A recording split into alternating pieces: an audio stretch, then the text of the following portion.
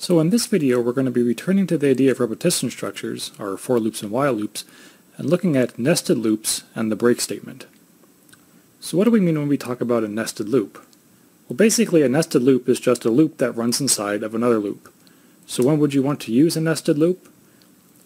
You may want to use it, for instance, when you're performing the same set of operations on a bunch of different data sets. So you may have one loop that performs your set of operations. You would have then another loop that feeds in different data sets to that set of operations. You may have a set of computations where you're using multiple independent variables. Uh, so for instance, you might do this in a situation where you're trying to determine what the effect of different variables have on some type of computation or maybe a model or a simulation. So you would have a different loop that changes the value of different variables. So as you go through, you can actually test all the different possible sets of input variable or input variable values. And the one that's most common, uh, which is why we're starting to talk about nested loops right now, is when you're working with two-dimensional arrays. So let's start off with the for loop. Here we can see an example of a nested for loop where we have an outer for loop and as part of the code that's being performed inside that outer for loop, we have another for loop. Okay, so this would be a situation where we have nested for loops. Okay, so we start off with our outer for loop. It has its own separate variable, has its own separate start, increment, and end. And then there are MATLAB statements, which can occur before and after our inner for loop, which has, again, its own separate variable and start, increment, and end, and some MATLAB statements that are specific only to that inner for loop. So when we're using nested for loops, our loop control variables, in this case variable 1 and variable 2, have to be different. Okay, If they're the same, then it can start to get confusing about which variable is acting where, and MATLAB can have some issues with that as well as you when you're trying to figure out what to do. Okay, so you have to have different variable names for the variable for your inner for loop and for your outer for loop. And how this works is that for every iteration of the outer for loop, the inner for loop is going to go through all of its iterations. Okay, so we'll take a look at an example here in a second so you can see what this looks like. So here we have an example of a nested for loop structure which is going to go through and create your multiplication tables uh, for the values of 1 through 5. Okay, so if you remember back to when you were first learning about multiplication, you can have the multiplication table which has kind of 1 through maybe 1 through 10 on the top and 1 through 10 down the side, and then each value in the grid corresponds to a number on the left multiplied by a number along the top. Okay, so we can do the same thing here in MATLAB. So we have a nested for loop. We have our outer for loop has a loop control variable of n. Our inner for loop has a loop control variable of n. Okay, they're both going to go from 1 to 5 incremented by 1. Inside our inner for loop, we have an fprintf statement, which displays a number times a number equals a number. The values that are going to display are the loop control variable m, the loop control variable n, and then the product of m times n. And then after we finish that inner for loop, we have an fprintf statement that moves us down to the next line. And then we repeat the outer for loop. So if we were actually to run this, and you could copy this code into MATLAB and run it yourself to see how it works, okay, the first thing that we would see, we would enter the outer for loop, the value of m would be 1. We enter the inner for loop, the value of n is 1, and then we execute that fprintf statement. So we get 1 times 1 is equal to 1. Now the inner for loop iterates, so n becomes 2, m is still 1, so now we have 1 times 2 is equal to 2. We continue 1 times 3, 1 times 4, and then 1 times 5. At that point, we've now finished execution of the inner for loop. We perform the fprintf statement, which moves us down to the next line, and now we iterate the outer for loop. So now m becomes 2. And then we repeat this whole process. So now we have 2 times 1, 2 times 2, 2 times 3, 2 times 4, and 2 times 5. Okay, so that would be then the second time through the outer for loop, and we've actually gone through the inner for loop twice because we go through that inner for loop for all of its iterations every time we go through the outer loop once. So if we were to continue this process, we would have three additional lines where we m becomes 3, then 4, then 5, and as we're going along these columns, um, we increment n every time we go through the outer loop once. So here we have another example of a nested for loop structure, but we're actually using it with a two-dimensional array. This is probably one of the most common instances where you would use nested for loops, and one that you'll probably see a lot throughout this course. So here we have a, an array called data, which is a 3 by 3 array, and it has the numbers 1, 2, 3, 4, 5, 6, and 7, 8, 9, and its three rows. All right, so we know the size command will give us the number of rows and number of columns for data. We then have two variables, sum and count. Essentially what we're going to be doing is calculating the average of the numbers that are included in this array. So we have, again, two for loops, one inside the other. The outer for loop is going to allow us to go through the rows. The inner for loop is going to allow us to go through the columns. So you can see inside the inner for loop, we're simply adding up each data point from that array, and the outer or, and then the count statement keeps track of how many times or how many values we've added onto our sum, so that at the end, with the fprintf statement, once we've gone through each row, so we would start out, we'd add, it would be sum equals sum plus 1, then sum equals sum plus 2, sum equals sum plus 3, and so on. Then we would move down to the next row, sum equals sum plus 4. We'd ultimately end up with the sum of our values, we divide by the number of values we have, and display them in the fprintf statement. So if you were to copy this set of commands and run it in MATLAB, what you would end up with is that average is equal to 5. So just like we had nested for loops, you could also have nested while loops. It would take look like pretty much the same structure, right? Except now instead of for loops, we have while loops, and instead of counters, we have conditional statements. So we have while condition 1, and we can have some MATLAB statements inside there. We also have then a second while loop inside of our outer while loop, which has its own separate condition. So when you're nesting while loops, the loop control variable or variables that you use in your conditions can be the same or they can be different. Okay?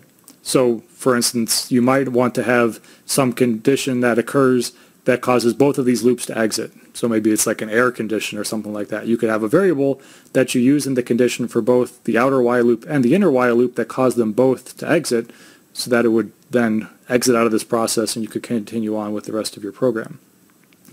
The conditions themselves can actually be the same or different. Uh, in most cases, they're going to be slightly different, but they might be have some similarities, uh, especially like in the situation I just mentioned, where you would probably have at least one part of that condition that is the exact same for both of them if you had some type of error command that you wanted to exit out of both loops. So here's an example of where you would use nested while loops. So this is the game you probably played it since you were five years old, where somebody thinks of a number and then the other person has to try and guess the number. Well, instead here, the computer is going to think of a number, and then you have to try and guess the number that the computer is thinking of. So, you can see we have nested while loops. The outer while loop allows you to play this game multiple times. The inner while loop controls the actual guessing portion. Okay? So, while repeat is 1, so that says that we want to repeat the game and play again. Then we have a line which creates a random integer, and that the user's initial guess is 0. Okay, so the random number in this case is going to be between 1 and 10, which means that a guess of 0 allows us to enter the inner while loop because the computer's number cannot be 0. Okay? And you can see that our condition is, well, the guess is not equal to the computer's number. So inside there, it asks the user to enter, inside the inner while loop, it asks the user to enter their guess, and then checks to see if the value that the user typed in is the same as the value that the computer generated. If it's not, it says try again, and you would continue this process in this inner while loop until the user types in the value that the user, or the user types in the value that the computer had generated. Once that occurs, then it says you, you, enter, you exit the inner while loop, you get the fprintf statement, you found my number, there's a menu statement, do you want to play again? If you click yes, that makes the value for repeat 1, so you would repeat then the whole process of the that's inside that outer while loop. So it would generate a new number and then go through the process of having the user at, enter values until they get it correctly. If you click no, then the value of repeat would be 2, and it would cause that outer while loop to exit and thus end the script. So we've seen that you can have nested for loops and you can have nested while loops. Well, you can actually nest for loops inside of while loops or while loops inside of for loops. Okay, this gets a little bit tricky because you have to pay attention to which type of loop is doing what. Um, especially with the for loop, it's going to keep track of the loop control variable automatically, whereas the while loop, you have to make sure that you're keeping track of the loop control variable. So as an example of when you might want to mix and match these, um, you could, for instance, be trying to read in lines from a file. So you don't necessarily know how many lines there are inside the file initially, so the process of getting the lines would be a while loop, right? You don't know ahead of time when you want to stop that process. However, you can get, once you get a line out from the file, you can check to see how many characters there are inside that line. For that, you can then use a for loop if, for instance, you want to go through and count the number of A's that occurred within that line. Okay, So you have the while loop, which is going through and getting lines out of the file, and then inside the while loop you have a for loop, which counts every character that is an A inside, or checks every character in that line of text that you read in from the file and checks to see whether it's an A or not. Okay, so while loop to get the lines, for loop to count the number of characters because once you have the line, you can easily determine how many characters there are. Alright, so one last thing about nested loops before we talk about the break statement. So we could also have what we would call contingently nested loops, where the operation of one loop depends on the current state of the other loop. So in this situation, you can see that we have nested for loops, but the current value of the loop control variable of the outer loop, m, is going to determine how many times the inner for loop repeats, right? We can see that in the statement for the inner for loop, we have n equals 1 colon m, which means we're going to repeat for whatever the value of m is. So in this case, if you were to look what happens, so m starts out at 1. The first time we're going through the outer loop, the inner loop only goes through once and displays a single asterisk. Then we repeat, m becomes 2. The inner for loop then repeats two times on the second iteration of the outer loop, then three times, four times, and five times. So if you were to go through and do this, we'd have one asterisk on the first time through M, or through the outer loop, two asterisks the second time, then three, and then four, and then five. Okay, so this is a situation where one loop is going to depend on the state of the other loop in order to produce this triangular output pattern that we see here. So the other thing we need to talk about in this video is the break statement. So the break statement allows you to force MATLAB to terminate whatever loop that you're currently inside of. So as an example, we have this uh, simple script here, just a single loop, a for loop. It's going from 1 to 20, but inside we have an if structure, which includes a break statement. So what this is going to do is if that condition within the if structure is true, so if 2 minus the sum is less than uh, 0.00001 or 1 e to the minus 5, then we're going to force the loop to stop before it reaches the value of k equal to 20, which would be the last time it would repeat. Okay, so as we go through and we do this, so sum is equal to 1 initially, so we'd have 1 plus 1 half, so that would be 1.5, then we'd have 1 plus a quarter, then 1 plus an eighth, and so on, so you would eventually reach the point after the value of k equal to 17 when 2 minus the sum is less than 0.0001 and the loop would actually stop before it reaches the value of k equal to 20. We would actually stop when k is equal to 17. Okay, so this, it's a way to force a for loop predominantly, but you could use it in a while loop as well, a way to force a loop to stop if um, something occurs where you can't continue on with the processing of the loop. So bringing these two ideas together, there's a little bit of a tricky thing you got to pay attention to if you're using break statements inside of nested loops. And that is that the break statement will only affect the loop in which it is directly associated with. Okay? So as an example, here we have nested for loops. It's going through and doing something. You can see that inside the inner for loop, we have a break inside that if structure. So if the value of x times y, which is the value of the outer control variable times the inner control variable, is greater than 9, then we break. In this case, we can see that this break statement is included in the code for the inner for loop. So when that break statement occurs, it'll force the inner for loop to stop, but the outer for loop will continue to go. So uh, let's see, what's the first value that it would occur when probably when x is 2 and y is 5.